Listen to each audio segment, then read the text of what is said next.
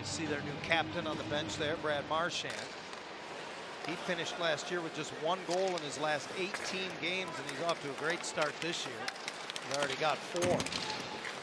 Ducks win a puck battle behind the net. From the line, Vaakanainen goes across. Gudas got a tip, and it goes in. I think that might have gone off a Bruin defender's skate in front. Yeah, I, I think it hits Lindholm and goes in the back of the net. So, so it's going to be Radko's goal. Yeah, a smart play by Gudas. I, I mean, this is what happens when you get lots of traffic going to the front of the net.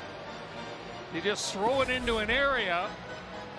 Look at the traffic. I mean, McTavish is battling with Lindholm. It goes off the right foot of Hampus Lindholm. That shot by Gudas is probably going about three feet wide. It's Lindholm in the foot. It's in the back of the net. And he has his first as a Duck. Radko Gudas, who played a season high 21 minutes in Columbus in the win on Tuesday.